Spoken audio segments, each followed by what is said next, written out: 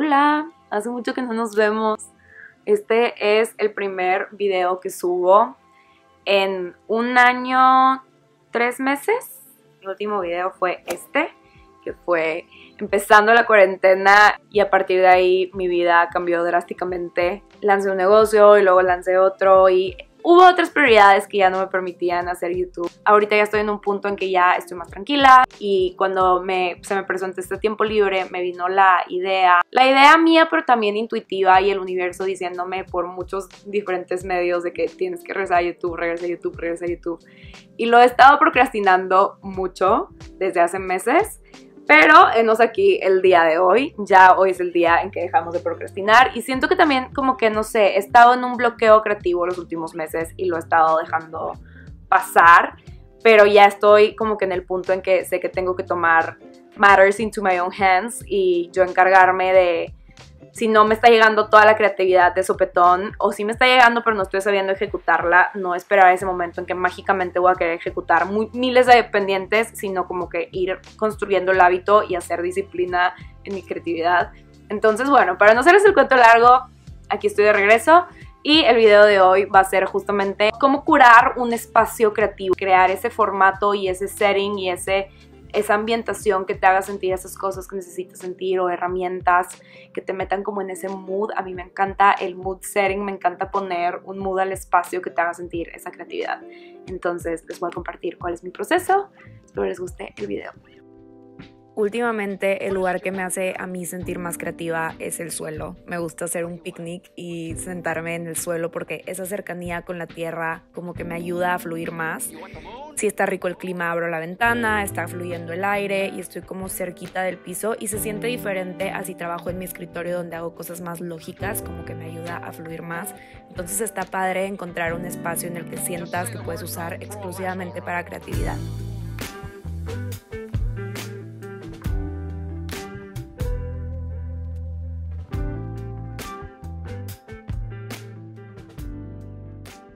Otro buen tip es hacer alguna actividad que te conecte con ese flujo creativo y te desconecte de la tecnología, del celular, de las redes sociales, de todo lo demás que estamos pensando durante el día. Entonces yo agarro mi tambor de lengüetas y lo toco unos cuantos minutitos y ya después de eso siento que estoy fresca y lista para empezar a crear.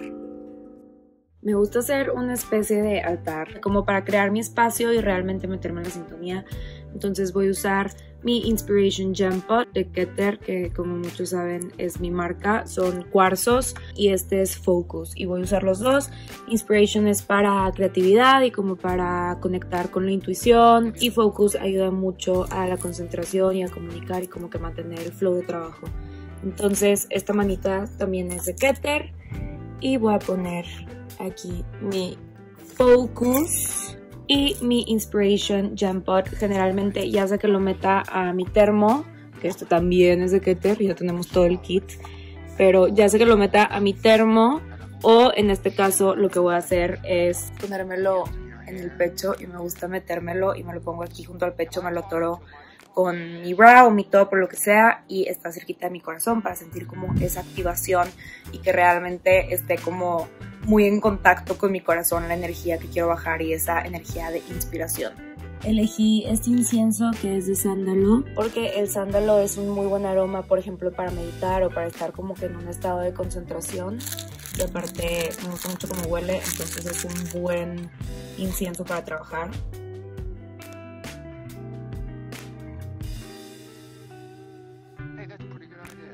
Tengo también mi iPad, que mi iPad generalmente lo pongo, lo uso para poner música o para poner videos de fondo, depende del tipo de trabajo que esté haciendo. Cuando estoy haciendo cosas de redacción, trato de, de poner nada más música que esté como relajante, sin letra, y ya cuando estoy haciendo más cosas de diseño, más visuales, si puedo multitask, me gusta de repente ver entrevistas o ver tipo podcast, series o no sé, cosas así, entonces generalmente ya lo tengo a la mano y también en él eh, con la pluma dibujo muchas cosas, escribo muchas cosas, de repente me doy breaks en que dibujo un ratito. Bueno, después obviamente tengo mi bullet journal, que para mí mi bullet journal es mi Biblia.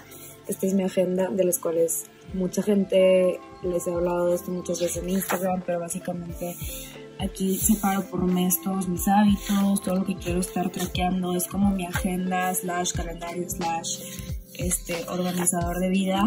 Y ahorita puse los pendientes que quería hacer como este fin de semana productivo. Vi ayer en un video de Jay Sherry un tip y me pareció muy bueno y lo apliqué el día de hoy. Que es que cuando te cuesta trabajo como que estar shifteando tu mente y multitasking entre cosas creativas y cosas más como de trabajo y de concentración son dos partes diferentes del cerebro. Y generalmente estamos como que tratando de ir de una parte a la otra parte del cerebro y por eso nos estresamos porque sentimos que no podemos hacer el cambio tanto. Entonces dividir como tu vida en secciones o sea en este momento trabajo lo creativo en este momento le voy a dar para trabajar lo más lógico. Entonces dividí mis pendientes en las cosas que quiero lograr el fin de semana, las que son lógicas y las que son creativas.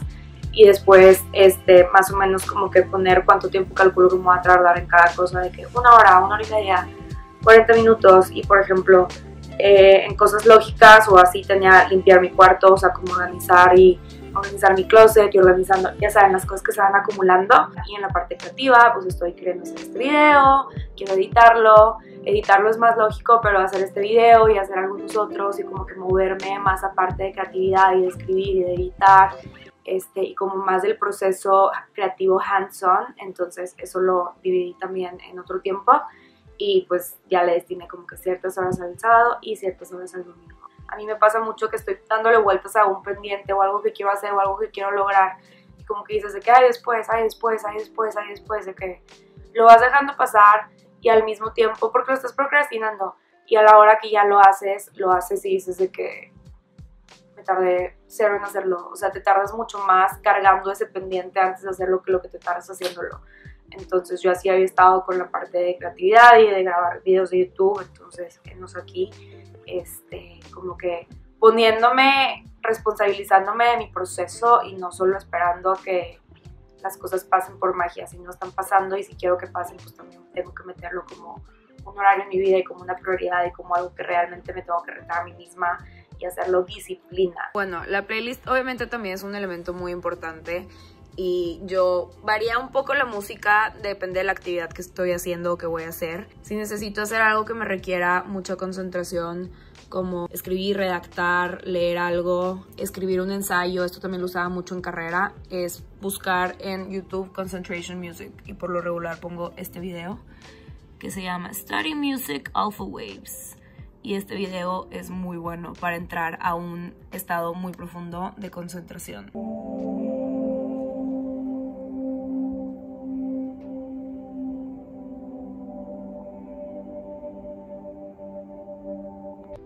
Si no tengo que estar tan extremadamente concentrada, por lo general escucho playlists de Spotify. Por lo regular escucho mis playlists porque tengo muchas. Tengo una playlist para absolutamente todo. Si nunca se han metido en mi Spotify, hay mucha variedad. Tengo playlists para trabajar, tengo playlists más tranquilas, tengo playlists como de no sé, más techno, electro sin lyrics, tengo playlists con lyrics, entonces depende del mood, es lo que pongo, pero por lo regular les voy a enseñar mis favoritos para trabajar.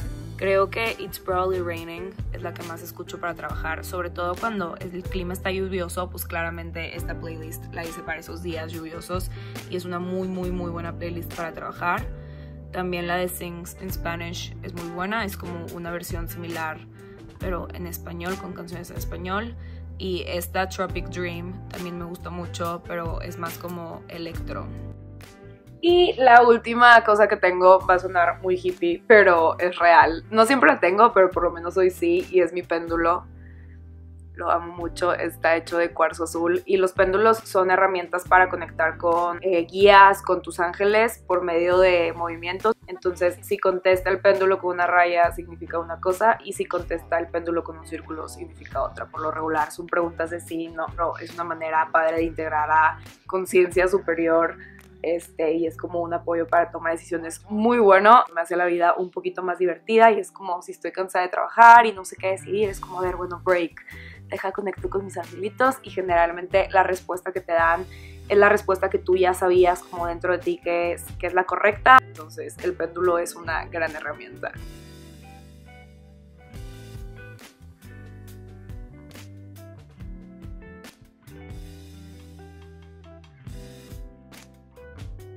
te gustó este video, puedes dejar un like, un comentario, suscribirte y nos vemos en el próximo. Bye.